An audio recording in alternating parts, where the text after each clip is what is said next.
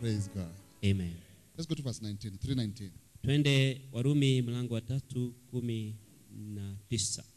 Warumi tatu kumi na tisa inasema basi twajua ya kuwa mambo yote inenayo torati huyanena kwa hao walio chini ya torati, ili kila kinywa kifumbwe na ulimwengu wote uwe chini ya hukumu ya Mungu.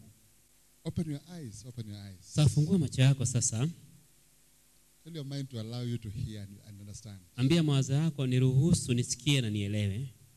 Verse 19 says, Now we know Mstari wa kumi na tisa unasema kwamba sasa twajua that whatever the law says, it says to those who are under the law, kwamba mambo yote inanayo torati huyanena kwa wale walio chini ya torati, to those who are being ruled by the power and authority of the law. wale ambao wanaongozwa na kumilikiwa na sheria. We'll come back to that. Tutarudi kwa hiyo. Why does the law speak then?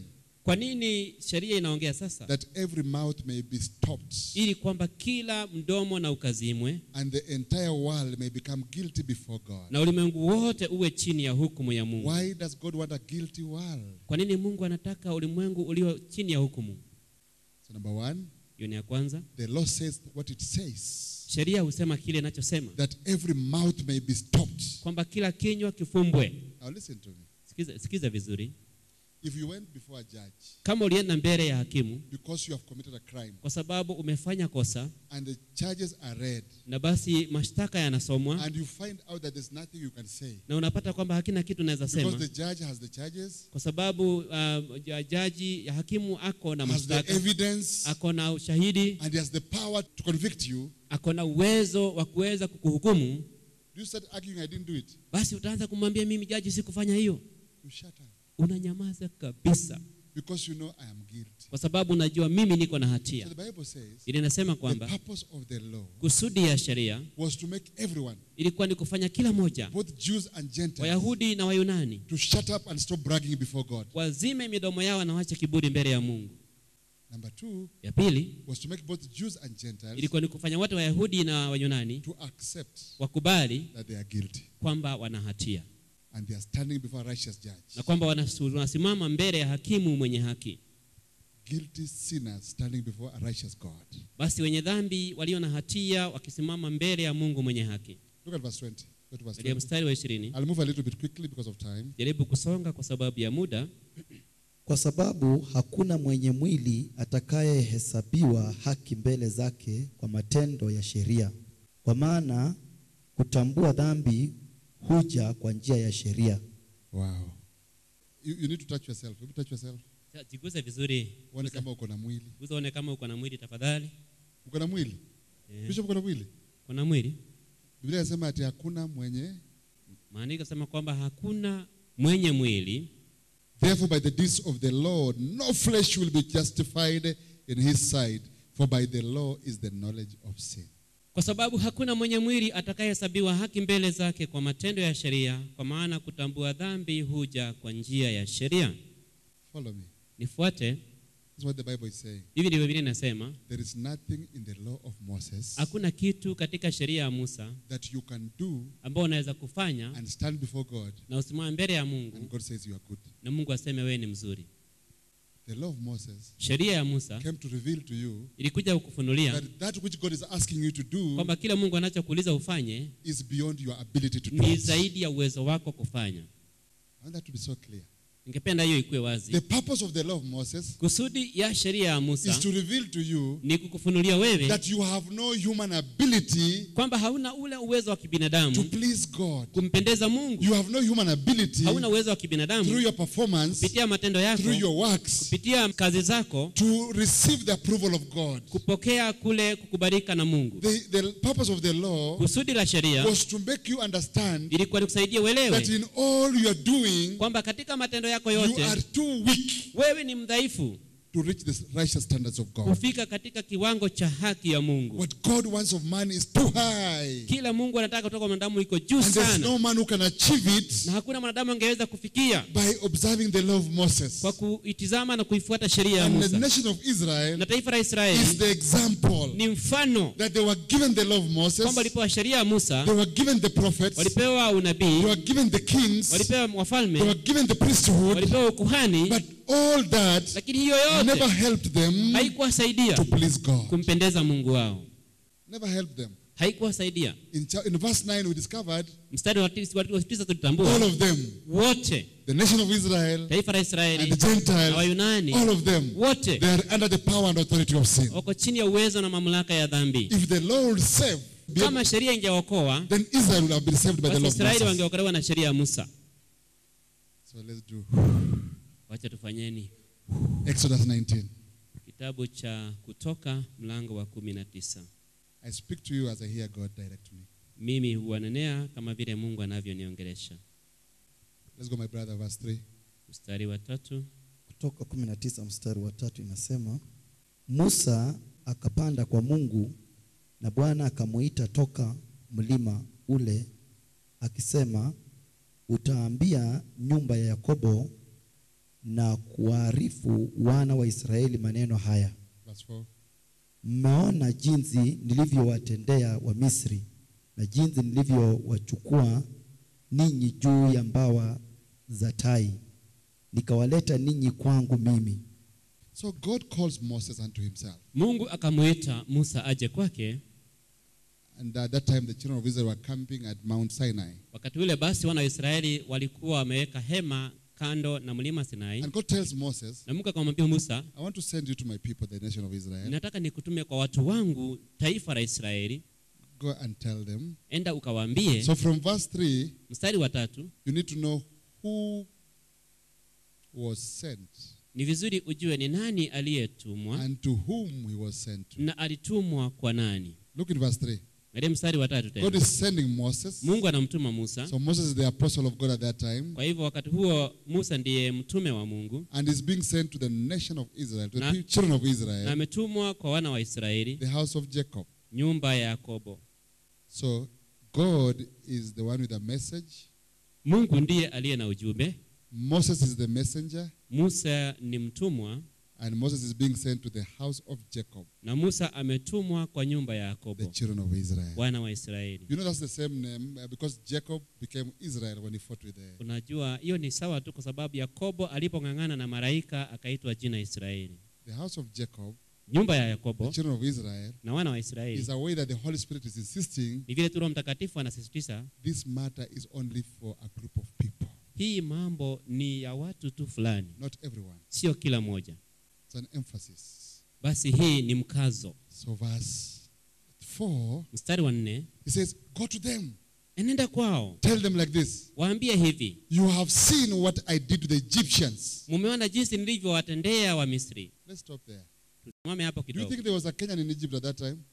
unafikiria hapo katika misri kulikuwa na mkenya Were there Kenyans there? kulikuwa na wakikuyu Were there Americans there? kulikuwa na watu kutoka amerika Who are there? Ni akina nani walikuwa huko The Jewish people. wayahudi You have seen what I've did in, to you in Egypt, mliona vile nilivyowatendea pale wa, kwa misri and how I carried you on eagle's wings. na jinsi nilivyowachukua ninyi juu ya mbawa za tai I like the last part, and brought you to myself. nikawaleta nyinyi kwangu mimi So hear this. sikiza hii For 400 years, kwa miaka mia nne the nation of Israel was being made in Egypt.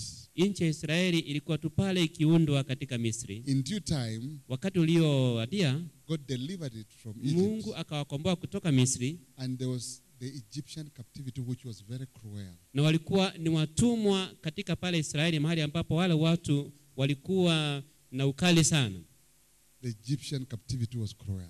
basi ule utumwa wa misri ulikuwa ni mkali sana But God delivered them lakini mungu aliwakomboa through many miracles. Kupitia miujiza mingi And He said He brought them to Himself. na akasema kwamba nikawaleta nyinyi kwangu But look at the words the Bible is using. angalia maneno biblia inatumia I bore you on eagle's wings. niliwabeba katika mabawa za tai In other words, kwa maneno mengine you are weak. Mlikuwa dhaifu You had no power to help yourselves. hamkuwa na uwezo wa kujisaidia You didn't even know how to run away from Egypt. hata hamkujua mkimbia namna gani You didn't even know that you need to leave Egypt. hata hamkujua lazima mtoke misri I came to you nilikuja kwenyu and did for you nika nikakuja kwenyu I came to you nilikuja kwenyu and did for you na nikawafanyia nyinyi that which you could never do for kile yourself. ambacho hamungeweza kujifanyia wenyewe Something that was impossible and beyond your ability. kitu ambacho hakingewezekana kilikuwa zaidi ya uwezo wenyu I carried you on eagle's wings. nikawabeba juu ya mabawa ya tai What God is telling them, nini mungu you anawaambia didn't pray for me to come and do that. hamukuomba nikuja You nifanye didn't give me offerings for me to do that.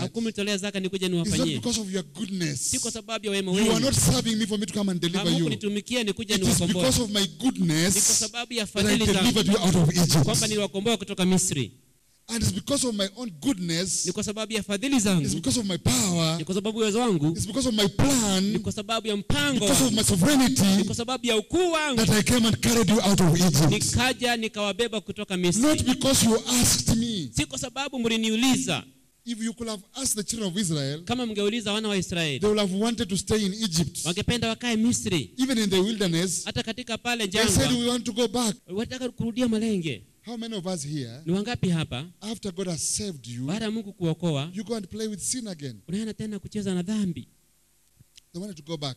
Wa- walitamani kurudi.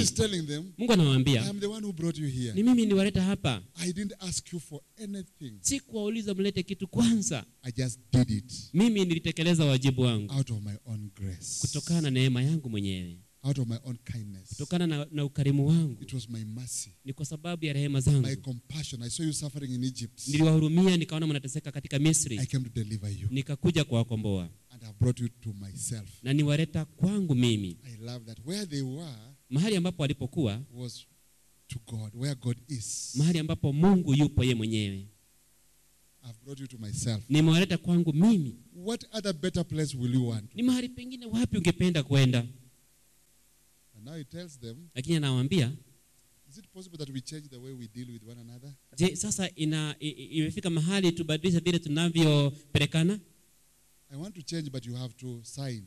nataka nibadilishe lakini inabidi muweke sahihi 5 to 8. Sasa basi, ikiwa mtaitii sauti yangu kweli kweli na kulishika agano langu, hapo ndipo mtakapokuwa tunu kwangu kuliko makabila yote ya watu, maana dunia yote pia ni mali yangu. Nanyi mtakuwa kwangu ufalme wa makuhani na taifa takatifu. Hayo ndiyo maneno utakayowaambia wana wa Israeli. Saba. Musa akaenda akawaita wazee wa watu, akawafunulia maneno hayo yote Bwana aliyokuwa amemwagiza. Watu wote wakaitika pamoja, wakisema, hayo yote aliyoyasema Bwana tutayatenda, tutayatenda. Naye Musa akamwambia Bwana maneno ya hao watu. So let's go slowly. Verse 5. mstari wa tano Now, therefore, if you will indeed obey my voice and keep my covenant, then you shall be a special treasure to me above all people, for all the earth is mine.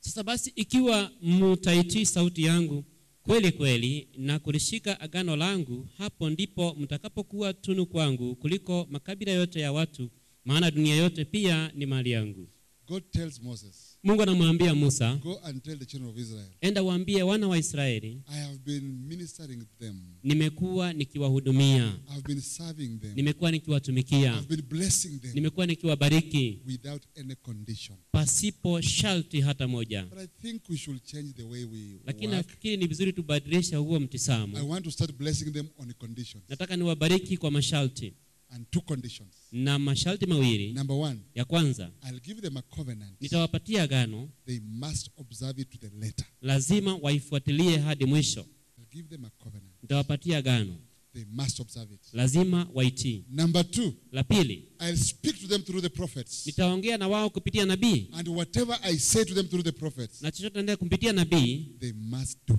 lazima na wakatii They must obey. lazima na wakatii And it says, na akasema on hand, enda waambie kwa mkono these are the two conditions. ha, haya ndio masharti mawili On the other hand, na upande mwingine these are the blessings. hizi ni baraka They shall be a special treasure for me.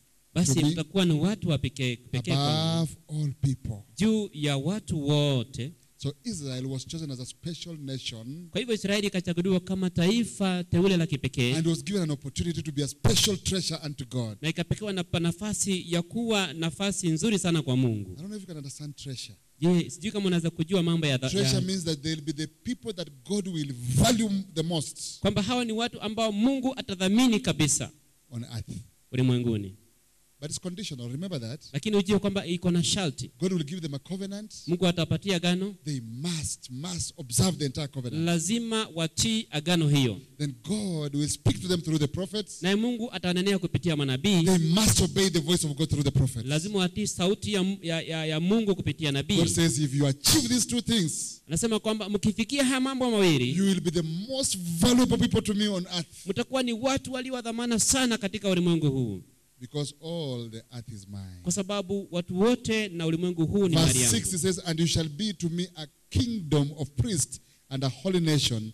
These are the words which you will speak to the children of Israel. nanyi mtakuwa kwangu ufalme wa makuhani na taifa takatifu hayo ndiyo maneno utakayowaambia wana wa israeli Israel is being promised four things. israeli wameahidiwa mambo manne Listen carefully. nisikize hapa If you listen to what the prophets are saying, ukisikiza kile manabii wanaposema if you observe my covenant, na ukitii agano langu I, the Lord, will bless you in this way. mimi nitawabariki kwa hii njia Number one, you'll be the most valuable nation on planet Earth. ya kwanza mtakuwa ni watu waliodhaminika sana ulimwenguni Number two, ya pili you will be a nation where all the kings of the earth will come from. mtakuwa ni taifa ambapo wafalme wote wa ulimwengu watakuwa kwenyu Number three, ya tatu you'll be a nation where all the priests of the heart will come from. mtakuwa ni taifa ambalo wakuhani wote kwa ulimwengu watatoka kwenyu Then you'll be a nation that is separated unto God and God alone. na mtakuwa ni taifa ambalo limeweza kutengwa likiwa taifa tunu kwake mungu Separated unto God and God alone. limeweza kutengwa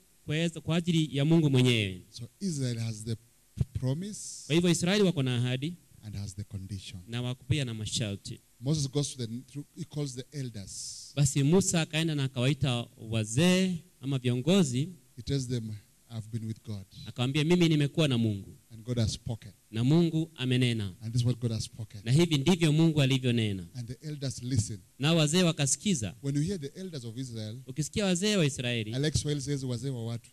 napenda bilisema kwamba wazee wa watu Musa leta, hebu soma verse, verse 7.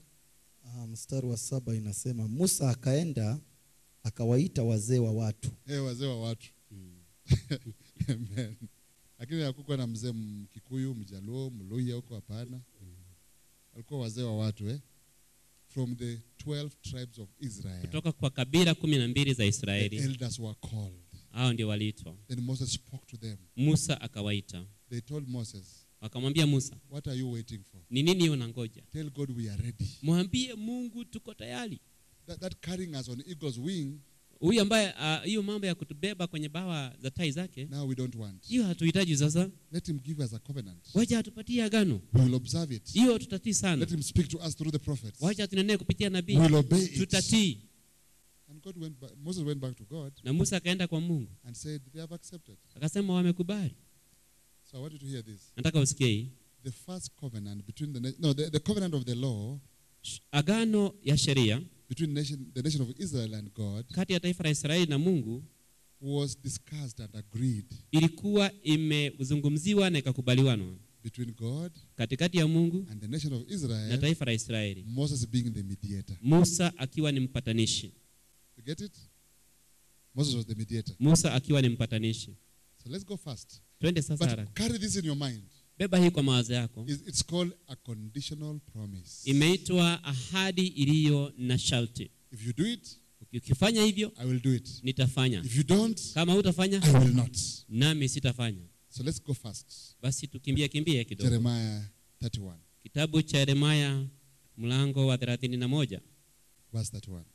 mstari wa thelathini na moja pia Yeremia 31 mstari wa 31 Mm. inasema angalia siku zinakuja asema Bwana nitakapofanya agano jipya na nyumba ya Israeli Ngoja kidogo. Agano jipya na na nani? Ah, soma hawakusikia vizuri. Soma tena. angalia siku zinakuja asema Bwana nitakapofanya agano jipya na nyumba ya Israeli Aha. Na nyumba ya Yuda Aha. si kwa mfano wa agano lile nililolifanya na baba zao Siku gani? katika siku ile nilipowashika mikono, mkono Aha. ili kuwatoa katika nchi ya Misri, Uh-huh. ambalo agano langu hilo walilivunja, ingawa nalikuwa mme kwao, asema Bwana. Amen.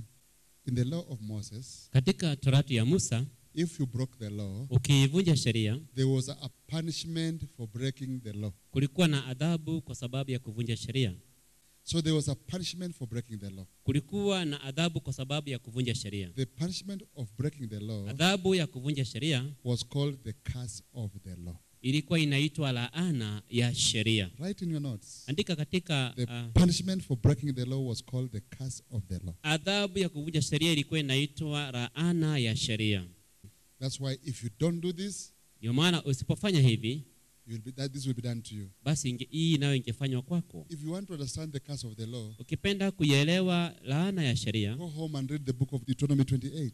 enda nyumbani na usome ile kitabu ya kumbukumbu la torati mlango wa ishirini na You will nane see the curse of the law. there. utaona basi laana ya sheria What will happen to you if you do something wrong? ni nini kitakachokutendekea unapovunja If you sheria break the law of Moses. ukivunja sheria ya musa So in Jeremiah 31, katika kitabu cha yeremaya mlango wa 31 God says, Behold, the days are coming. mungu anasema kwamba angalia siku zinakuja So it was not during the time of Jeremiah, haikuwa ni wakati wa yeremaya days are coming. siku za kuja And God says, na mungu anasema In those days I will make a new covenant with the house of Israel and with the house of Judah. kwamba katika hizo siku nitakapofanya agano jipya na nyumba ya israeli na nyumba ya yuda I'll make a new covenant with the house of Israel again. nitafanya agano jipya na nyumba ya israeli mara tena There's something he says after that. kuna kitu anasema baadaye Israeli sema si kwa mfano ama? Yeah. Kusoma. si kwa mfano wa agano lile nililolifanya na baba zao Si kwa mfano. yeah. What's an NIV Bible here? Read for us. What does, it, what does that verse say? It will not be like the covenant I made with their forefathers. So there's a new covenant that God is promising the nation of Israel, but he's saying it will not be like. kwa hivyo kuna agano jipya ambao mungu anaahidi wana wa israeli na anasema kwamba si kwa mfano wa ile ya kwanza Si- Sio kama ile ya kwanza, ndio? Yeah. So does that mean kwa hivyo inamaanishaje hiyo a time was coming wakati ulikuwa uje when God will do away with the law of Moses wakati mungu alikuwa aweke kando sheria ya musa and come up with a new law? Na apatiane sheria ingine Does that mean so? inamaanisha hivyo je? From that statement. Hebu soma tena, soma tena kuanzia 31. The time is coming, declares the Lord, when I'll make a new covenant with the house of Israel Uh-huh. and with the house of Judah. Uh-huh. It will not be like the covenant I made with, with their forefathers, When? when I took them by hand to lead them out of Egypt, because they broke my covenant, though I was a husband to them. So he's saying, anasema it's okay, Pastor. When, when they were at Mount Sinai, walipokuwa pale mlima sinai he gave the children of Israel a covenant, aliwapa wana wa israeli agano a conditional blessing, na pia baraka zilizokuwa na sharti but they have broken them. lakini wamezivunja They have not kept them. hawajahifadhi Let me just touch on how the covenant was supposed to be observed. Just kidogo tu. tu kidogo vile uh, agano ilikuwa iweze kutiliwa manani You know, sometimes you go to a hotel ingine unaingia kwa hoteli and get a buffet. na unapata chakula kimeandaliwa kingi cha aina- chakula aina tofauti Uh, like yesterday we had a buffet in this. kama jana tulikuwa na hiyo buffet hapa You pick what you want. unachukua kile wewe unataka So you look, say chicken, Una, kuku city kienyeji or broiler. hii ni, ni ile ni ile ya upepo ama ni hii ya No, me, I love kienyeji. I'll not eat that. mi, mi napenda kienyeji, sipendi This Ni ugali, hii ni I'll I eat this. wacha nikule hii This this sukuma wiki, no, I- I don't like sukuma wiki. sukuma nayo acha nayo So you pick what you love unachukua kile unapenda and eat. na unakula And the church things, na the church nao kanisa things that the law of Moses was like a buffet. haya kanisa hufikiria ati kwamba sheria ya musa ilikuwa ni kama hiyo maandalizi ya chakula ina tofauti mingi kwa meza. You say, uh, unasema? this one is not good. hii si nzuri.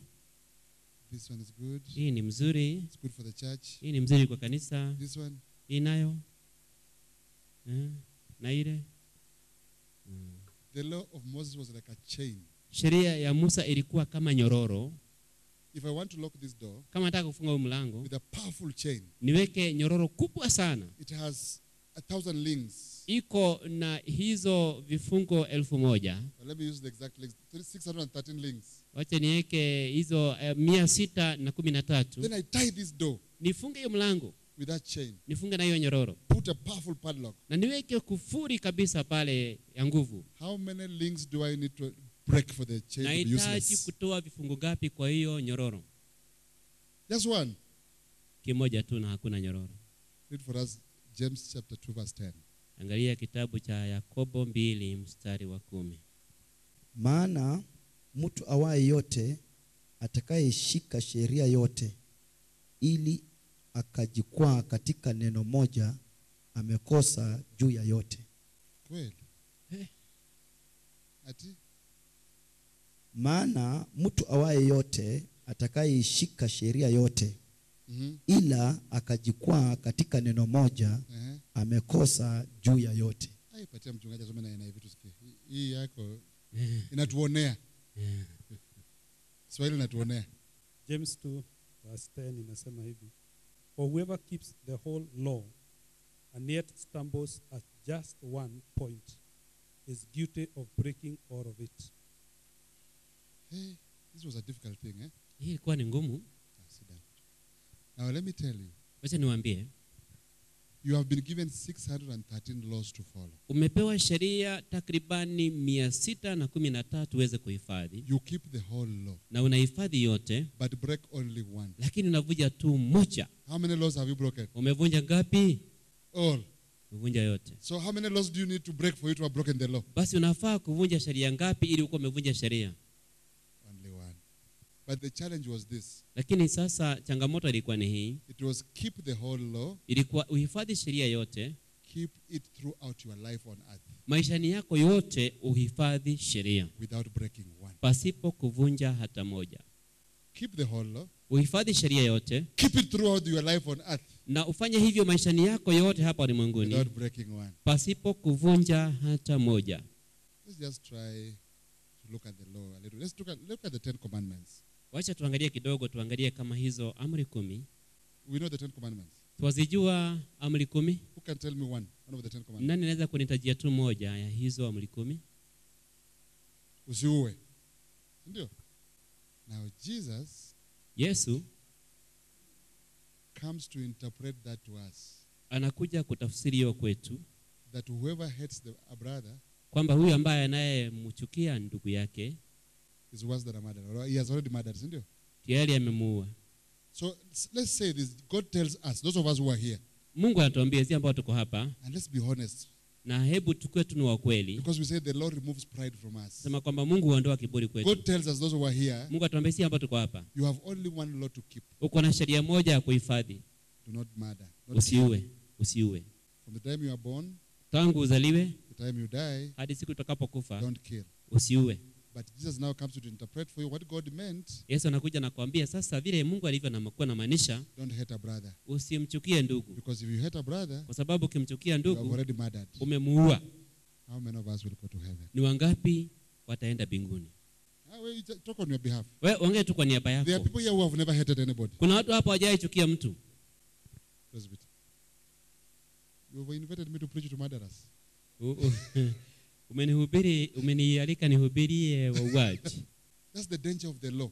hiyo ndiyo hatari ya sheria If you want to keep the law, ukitaka kuhifadhi sheria there is the principle of keeping the law. kanuni ya kuhifadhi sheria Keep the entire law. hifadhi sheria yote Keep it your entire life maisha yako yote hifadhi. without breaking one. pasipo kuvunja hata moja. If you live up to 100 years basi ukiishi maisha kama miaka mia moja and you will die at 100 years and one day, na unaukufe baada ya tu siku moja ya mia moja na mia moja and for 100 years you kept the law, na miaka mia moja umehifadhi sheria and just before you die, kabla tu hujakufa. you break one law, uvunje tu sheria then moja all your 100 years. hiyo miaka 100. they has have been a waste. itakuwa tu imepotea hivyo That's the law of Moses. ilikuwa ni sheria ya musa But that's the way the law is kept. na hivyo ndivyo sheria ilikuwa inahifadhiwa Bishop has been driving basi askofu amekuwa akiendesha gari for 50 years. miaka hamsini And now he knocked someone on the road. mtu kwa, mtu kwa So he's taken to the, uh, to the courtroom. na apelekwe katika chumba cha He's being accused by, of, of knocking someone on the road. anashtakiwa kwamba amepiga mtu kwa barabara he says, Judge, nasema "Wa- hakimu I've been driving for 50 years. nimekuwa nikiendesha gari miaka hamsini I've only knocked up one man. nimegonga tu mtu mmoja Can he be acquitted? je ataachiliwa He'll be punished. ataadhibiwa That's how the law works. hivyo ndivyo sheria hufanya It kazi doesn't matter how long you have been good. haijalishi umekuwa mwema miaka ngapi If you break one, ukivuja tu moja you've spoiled everything. basi umeharibu kila kitu Now, in your own thinking, katika kufikiria do kwako you think the nation of Israel could have kept the law? wanafikiria taifa la israeli ingeweza kuhifadhi sheria Do you think there's a church that can keep the law today? wanafikiria leo kuna kanisa inahifadhi sheria Now, let me show you the danger of trying to keep the law. wacha nionyeshe hatari ya kujaribu kuhifadhi sheria 1 Corinthians 15. wakorintho wa kwanza 15, mlango wa kumi na tano verse 56. mstari wa hamsini na sita Let's read 56 to 58. uchungu wa mauti ni dhambi Soma pole pole, soma pole pole. Uchungu wa mauti. ni dhambi Aha. na nguvu za dhambi ni torati Wa- Aha. lakini mungu na ashukuriwe atupae kushinda kwa bwana wetu yesu kristo basi ndugu zangu wapendwa muimarike msitikisike mkasidi sana kutenda kazi ya bwana siku zote kwa kuwa mwajua ya kwamba taabu yenu siyo bure katika bwana The sting of death is sin, The stink of death is sin. and the power of sin is the law. The power of sin is the law. But thanks be to God, give us victory through our Lord Jesus Christ. Achia tu hapo. That all people die today because of sin. Kwamba watu wote hata siku ya leo hufa kwa sababu ya dhambi Because of the sin that was committed by Adam in the Garden of Eden. kwa sababu ya dhambi iliyofanywa na adamu pale katika bustani ya eden God said, The day you eat of this tree, you'll surely die. wakati mungu alisema kwamba siku utakula kutoka kwa mti utakufa hakika So, because of that original sin kwa sababu ya hiyo dhambi ya kwanza and the continual personal sins, na kule kuendelea kwa kufanya dhambi sasa people are dying. watu wanakufa So, every time you bury a loved one, kila wakati unapozika mpendwa wako remember Genesis chapter 2, verse 17. kumbuka kitabu cha mwanzo mlango wa pili mstari wa 17. God said the day you eat of this tree you'll wa surely die. Wakati mungu alisema kwamba siku ile utakula kutoka kwa huu mti hakika na utakufa And man actually rebelled against God naye mwanadamu akaweza kuwasi mbele ya mungu and he ate from that tree, na akala kutoka kwa ule mti and the word of God came true, na neno la mungu likawa kweli man dies. mwanadamu akafa Although in Genesis chapter 2, ingawaje mwanzo kitabu cha mwanzo mlango wa pili the Bible is talking about both spiritual death and physical death. biblia inaongea kuhusu zote mbili um, kifo cha mauti ya rohoni na mauti ya mwilini But physical death up to today lakini mauti ya mwilini hadi wa leo is because of sin. Ni kwa sababu ya dhambi So the stink of death is what? Sin. kwa hivyo uchungu wa mauti ni dhambi Nasemaje rufora rwa? Rufora rwa gikuo ni mehia Ehe. naguo hinya wa mehia umanaga na watho Hinya wa mehia umanaga na watho watho niki. sheria The stink of death is sin. uchungu wa mauti ni dhambi And for sin to have power over you, na ili dhambi iwe na nguvu juu yako. There must be the law of Moses. lazima kuwe kuna sheria ya musa. I know that one is a hard one, najua hiyo inakaa ngumu but it's found in the Bible. lakini iko kwa bibilia And once it's found in the Bible, na uh, inapopatikana kwa bibilia this is how we say it. hivyo ndivyo tunaisema If God has said it, kama mungu ameisema I believe it, mimi naiamini that brings everything to rest. na hiyo basi inafanya kila kitu inakuwa katika hali ya For utulivu as long as God has said it, kama ni mungu ameisema please believe it tafadhali yamini and bring everything to rest. na utaweza kupata pumziko ndani ya moyo If you look at that, uh, that place, ukiangalia maeneo pa mahali pale we'll come to verse 57. tunakuja mstari wa We'll come to it later, tutakuja baadaye which says, But thanks be to God nasema lakini mungu na who ashukuriwe has given us victory over sin and death atupaye kushinda kwa bwana wetu yesu kristo through Christ Jesus. kupitia yesu kristo But the stink of death is sin, lakini uchungu wa dhambi, wa dhambi ni mauti Uchungu uchungu wa mauti ni dhambi the power of sin is the law. na uwezo wa dhambi basi ni torati Now, let me show you one of the greatest men in the Bible how he cried about the law. nikwambie kuhusu watu wakuu katika Biblia vile walivyolia kwa sababu ya sheria. Romans chapter 7. Warumi mlango wa saba. Romans chapter 7. Let's pick it from verse 7. Mlango Warumi mlango wa saba kuanzia mstari wa saba. inasema Mm. Tusemeje basi Mm. torati ni dhambi hasha walakini singalitambua dhambi ila kwa sheria kwa kuwa singalijua kutamani kama torati isingalisema usitamani Let's hold on there. We- Simamia hapo. We have a fallen nature right from Adam. Tuko na asili ambayo imeanguka tangu wakati wa Adamu, And what the law was doing na kile ambacho sheria ilikuwa inafanya is to tell our fallen nature, ni kuambia asili iliyoanguka don't do what you do naturally. usifanye kile unachofanya katika kihali halisi ya asili. Don't covet. Wacha kutamani, And naturally, na katika asili we are covetous people. sina watu wa kutamani. Naturally. Hi- Hiyo ni kawaida, Every single human being in the world, kila mwanadamu katika ulimwengu, even all of us who are here, hata sisi ambao tuko hapa, naturally without Christ Jesus, kawaida bila Kristo we are covetous people. watu wa So it does not matter Kwa hivyo haijalishi how hard the law hits you. ni imekugonga kiasi kipi Don't sheria, covet. usitamani, Don't covet. The usitamani. more it tells you don't Kile covet, navyo kukumbusha wacha kutamani, the more the flesh tells you do it. hivyo ndivyo mwili nakwambia jaribu hiyo kitu. When you are growing up, Wakati ilipokuwa na kuwa during your teenage, wakati wa umri wako wa, wa ujana, those things that your father told you don't do it, yale mambo ambayo baba yako alikwambia usifanye, they are the things that you did. hayo ndio mambo ulifanya. Okay, me, I'm talking about myself, not you. Askofu akiwa kijana alifanya hivyo, asemi kuhusu wewe. If my mother told me don't do this, Kama mangu aliniambia usifanye hivi, then that I'll do. hivyo ndivyo nilienda kufanya. We have a nature Tuko na asili that is naturally rebellious against God. ambao katika kiasilia chake ni kuenda tu ni kuasi dhidi ya Mungu. We don't need anything. Hatu, We don't need any, any, any Atu- instructions. hatuhitaji ma, hatuhitaji um, uh, maagizo mengine. Bishop, nobody teaches a man how to sin. Hakuna mtu hufundisha wanadamu jinsi ya kufanya We were dhambi. born sinners naturally. Tulizaliwa tukiwa na dhambi kiasili, And the pa- bad part of it, na sehemu ile mbaya hiyo this flesh enjoys sin. ni huu mwili wa dhambi. Until we bring this flesh to death, Bali ha, hadi itakapoleta mwili katika mauti, the body enjoys sin. basi mwili unafurahia sana kuogelea katika dhambi. So Paul says, Paulo anasema I was okay. mimi nilikuwa sawa, But when the Lord told me, wakati sheria niambia don't covet, wacha my kutamani, flesh says, na mwili ukasema now I found something to do. sasa nimepata kitu ya kufanya. Continue, continue. mstari wa nane Mhm. lakini dhambi ilipata nafasi kwa ile amri ikafanya ndani yangu kila namna ya kutamani kwa maana dhambi bila sheria imekufa Kama sheria ya Musa haiko, dhambi iko namna gani? imekufa Hebu unadanganya. Acha tusikie hapa sasa anasema hiyo hiyo. What shall we say Mhm. then? Is the law sin?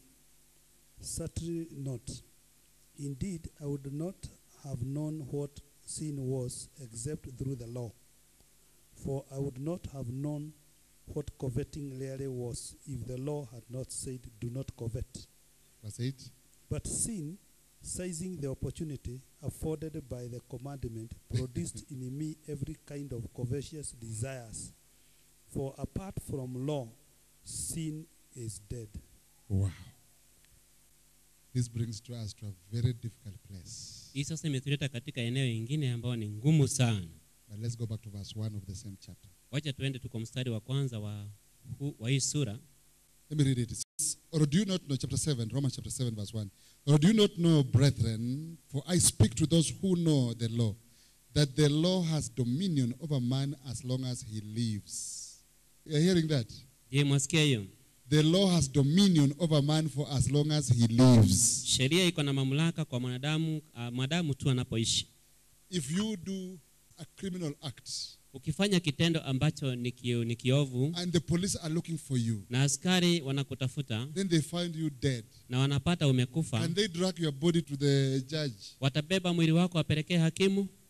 For as long as you are dead, the law has no power over you. Sheria haina uwezo juu yako. Let me give you where you are go- we are going. Wacha nikupatie mahali tunapoelekea The very moment you believe in Christ Jesus, punde tu unapoamini yesu kristo you die to the world. unaikufia ulimwengu And now you are hidden in Christ. na unafichwa ndani ya And when you are hidden in na Christ, ukifichwa ndani ya kristo the law and sin have no power over sheria na dhambi hazina uwezo juu yako amen But let's walk there slowly. lakini hapo twende I'm polepole showing you the trophy.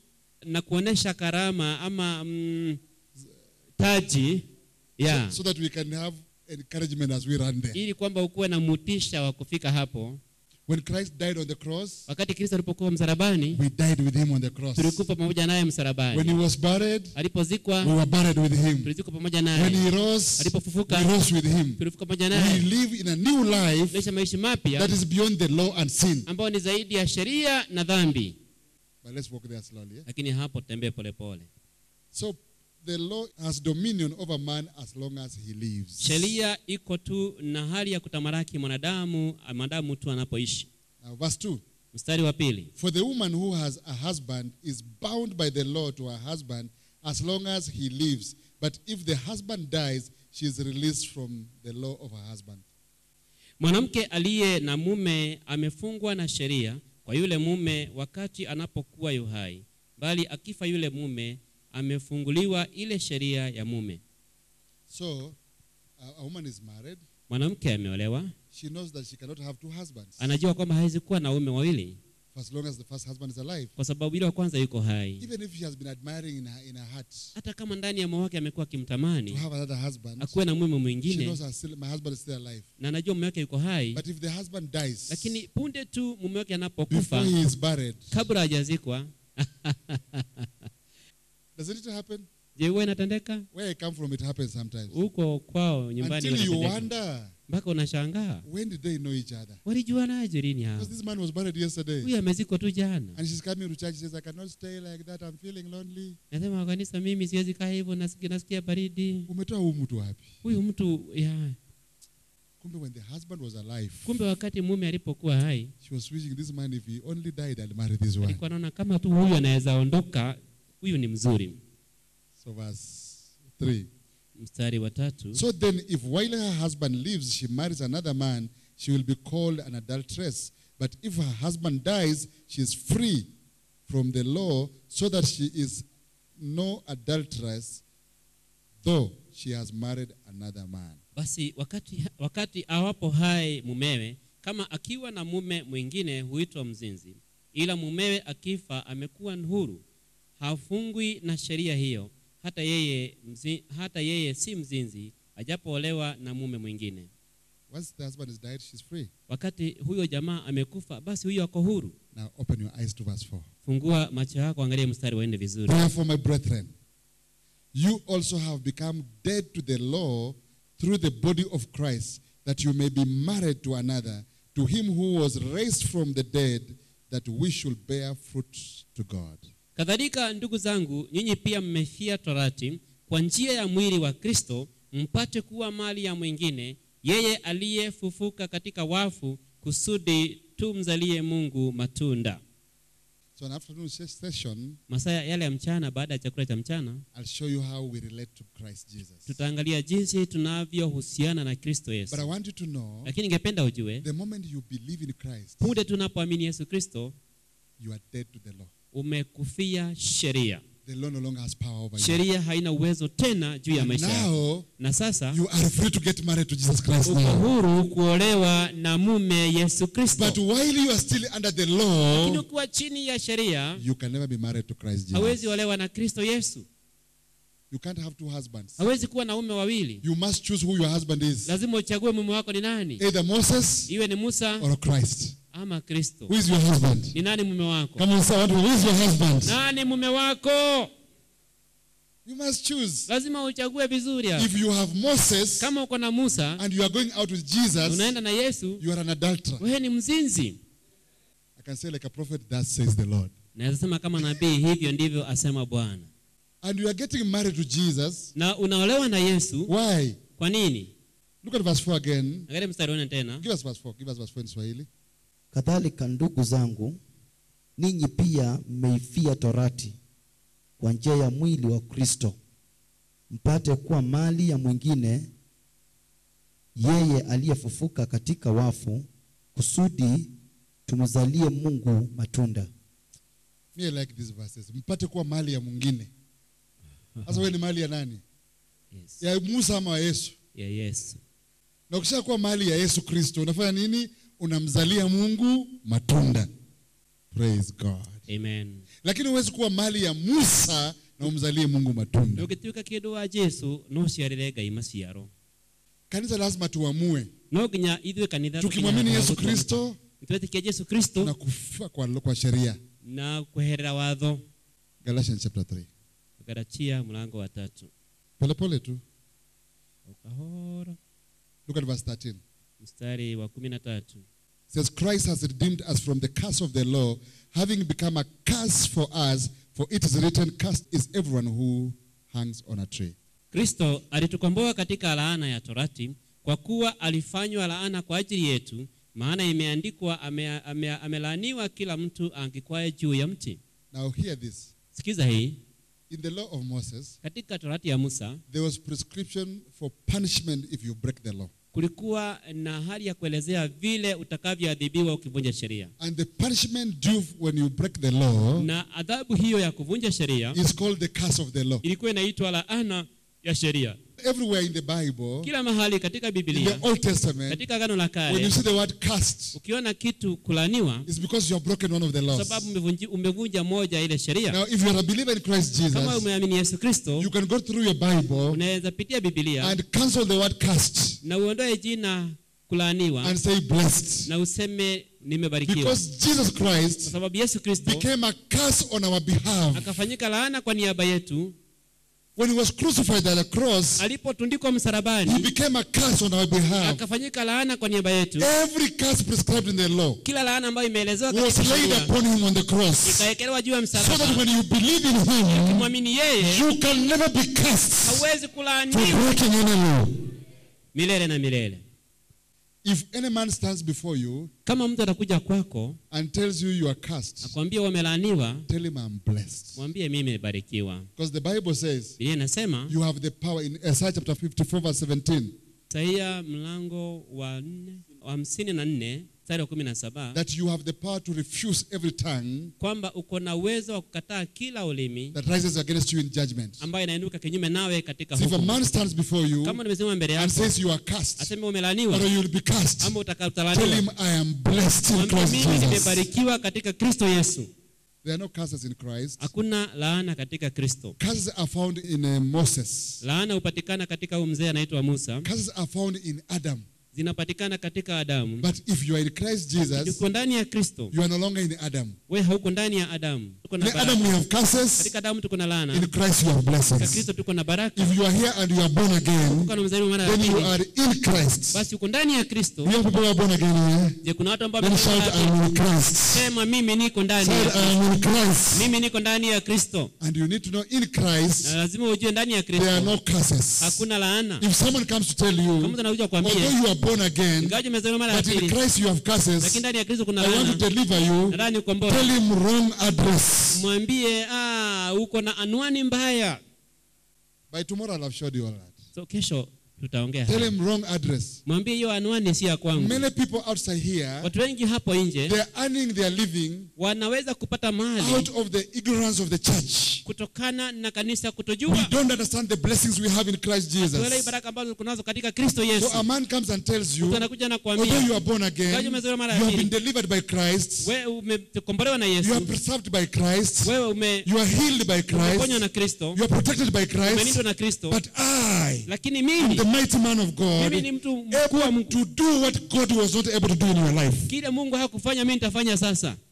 Tell him wrong address. Mwambie hiyo anwani sio ya kwangu. Try the next door.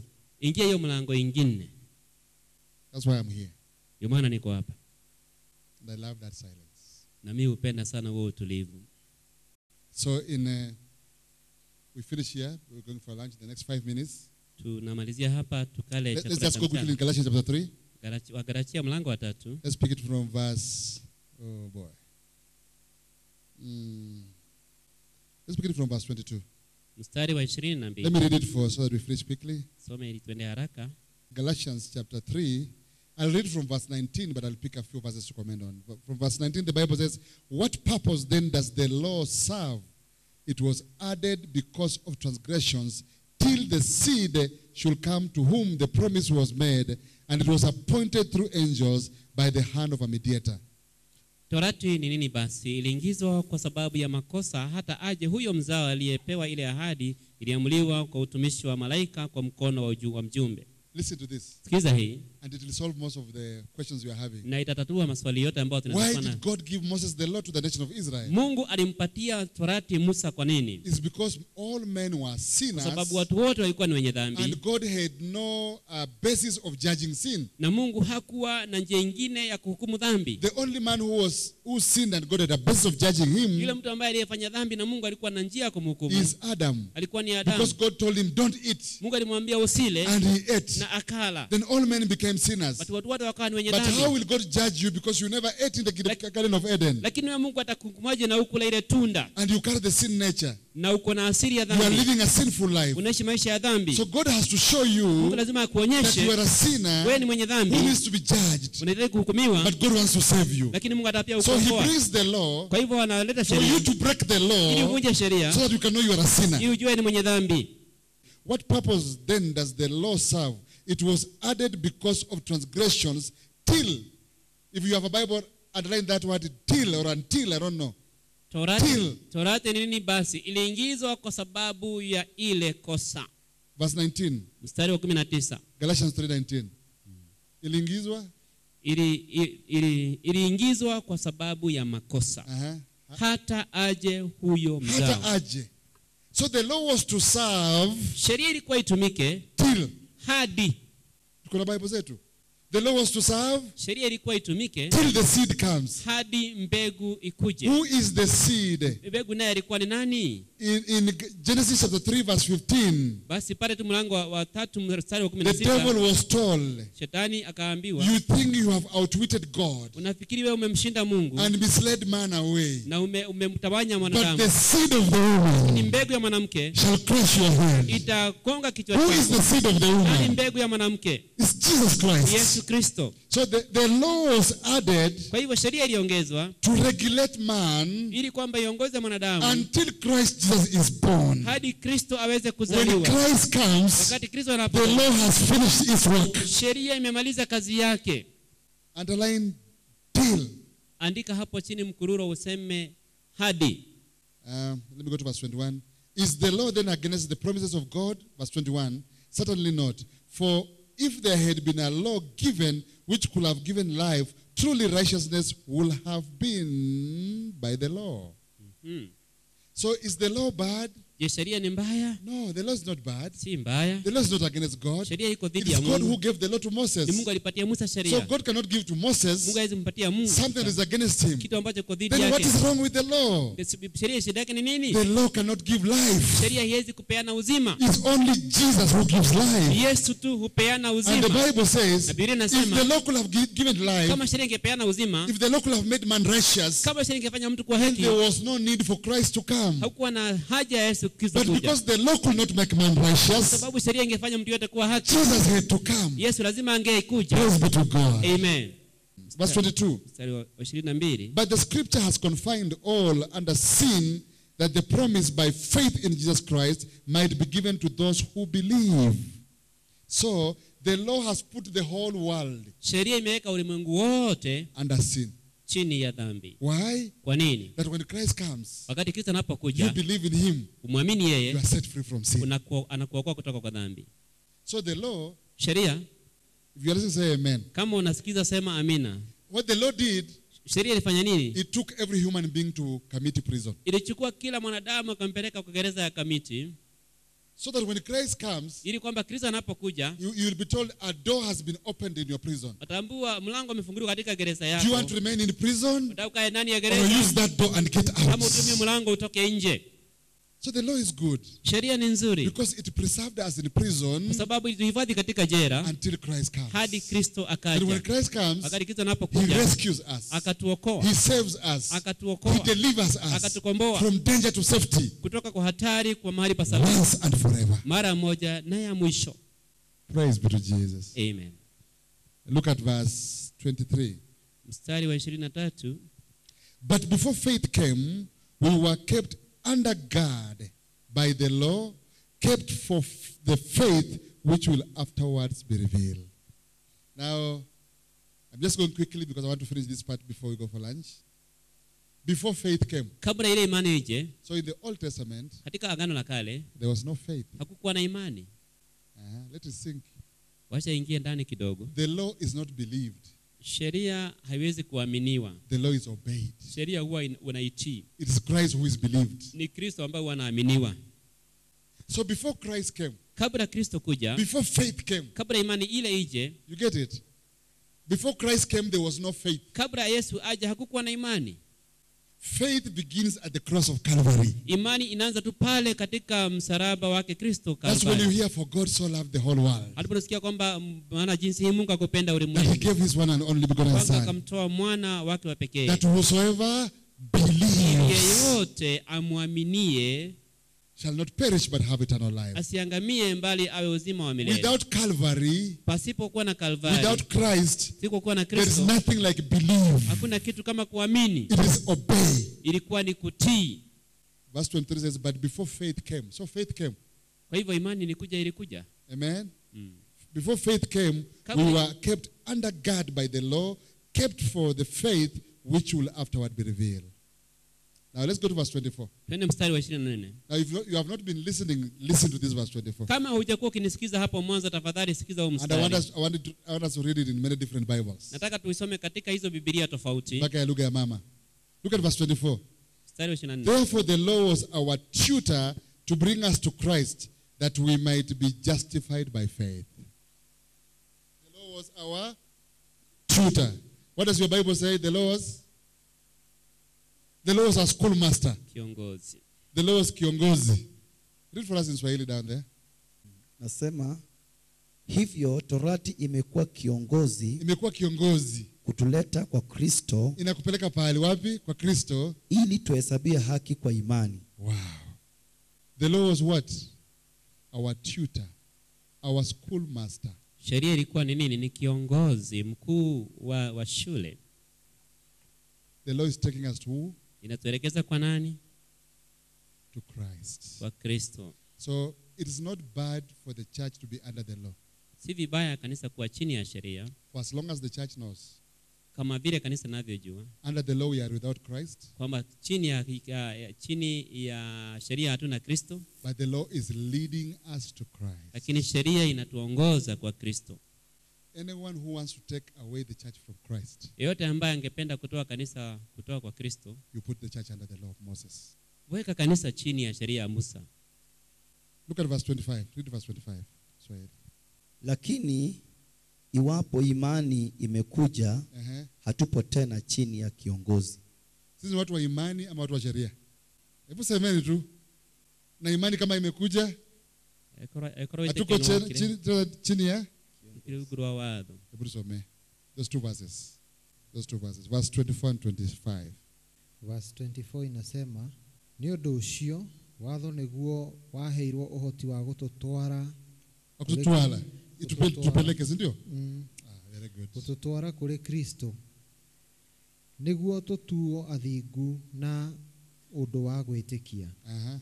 na rĩrĩ kuona atĩ rĩu ũhoro wa gwĩtĩkia nĩ mũkinyu Uh-huh. ni watho Let's make a choice. Wow. Go to chapter 5. tufanye uchagui twende mlango wa 5 Chapter 5. Galatians chapter 5, verse 1. Inasema katika ungwana huo. Kristo alituandika nu huru. Kwa hiyo simameni, wala msinaswe tena chini ya kongwa la utumwa. Kongwa la utumwa ni nini hiyo?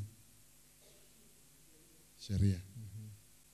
Kristo nĩ gũtuohora atuohorire nĩguo tũgĩe na wĩyathi nĩ ũndũ ũcio-rĩ mwĩhandei wega na mũtigetĩkĩre kuohwo icoki rĩa ũkombo rĩngĩ Let's go to Romans chapter 10.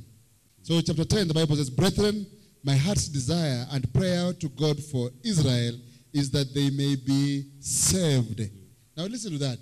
Sikiza hiyo Paul is praying for Israel to be saved. paulo anaongea waisraeli waweze kuokolewa But they are the keepers of the law. lakini hao ndio wanahifadhi sheria They are the recipients of the prophecies. hao ndio walipokea unabii They are the ones with the Levitical priesthood. hao ndio walipokea unabii wa waki, wa ki- They are the ones that have kings hao ndio wako na wafalme and judges. hao ndio wako na mahakimu So these things did not save them. kwa hivyo mambo haikuwaokoa The law never saved them. Sheria haikuwaokoa The prophecies never saved them. unabii haukuwaokoa The Levitical priesthood never saved them. basi ule ukuhani wa kilawii Paul is praying for Israel paulo anaombea israeli that they may be saved. ili kwamba waweze kuokolewa Paul says, verse 2 For I bear them witness that they have a zeal for God, but not according to knowledge. That you see them working very hard. anaona kwamba wakifanya kazi They kwa juhudi slaughter animals, wanaumba wanaua they wanyama observe days, wanafuata mashiku they sacrifice, wanatoa dhabihu. They dress in sackcloths. wanavalia mavazi ya ngunia. You look at them, you see zeal, unawaangalia unaona juhudi njema. But not according to the knowledge that the Bible gives. lakini si kutegemea maarifa ambayo maandiko yamepeana. Because zeal is not a proof of kwa righteousness. sababu juhudi siyo thibitisho ya haki. Verse 3 mstari wa tatu. For they being ignorant of God's righteousness and seeking to establish their own righteousness have not submitted the righteousness of God.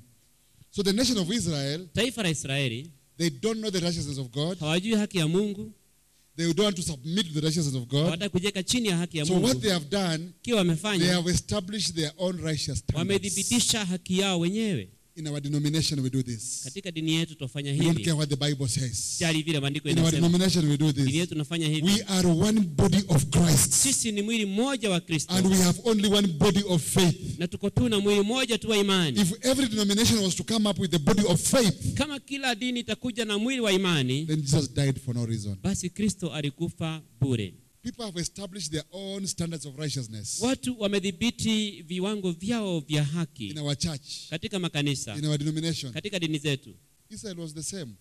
hata israeli pia walikuwa They say we don't know the righteousness of God, hatujui haki ya we don't care about it, hatujali we'll come up with our own. tutaibuni yetu And that is very true up to today. Na hata hivyo ni kweli hata leo All over the world, kwa ulimwengu people don't want what the Bible says, watu hawajali sana kile biblia inasema they want what their religion says. wanataka kile ambao dini zao zasema There must be a people who will say, We'll come out of religion lazima kuna watu waseme kwamba lazima tutoke kwa dini and do what the word of God says. na tuseme vile neno la mungu lasema The sacrifice. The Because, because you will look like you are wrong. Utakaa ni kama wewe umekosea. You may be the only one, unaweza kuwa ni wewe peke but you look like you are the only one who is wrong. lakini utakani kama tu wewe ndio tuko mmoja tu ambao But you must stand out lakini lazima usimame and say, if the Bible does not say so, na useme kama biblia haisemi hivyo I will not do it. mimi sitafanya hivyo. Now let's read verse 4. tuangalie mstari wa 4 mstari wa 4 nasema kwa maana kristo ni mwisho wa sheria ili kila aaminie ahesabiwe haki kuna kusudi njema It preserved us. inatuhifadhi But when it brings you to Christ Jesus, na ikikupeleka kwa yesu kristo the law has finished its work. sheria imemaliza kazi yake Jesus takes over. yesu anachukua hapo We we will see in the afternoon. tutaona hiyo masaa ya mchana We'll see in the afternoon. tutaona hiyo But you will discover tutatambua kwamba that we have something bigger, kwamba tuko na kitu kingine kubwa sana glorious ambayo iko na utukufu in Christ katika kristo than the law of Moses. kuliko sheria ya musa You are blessed. umebarikiwa amen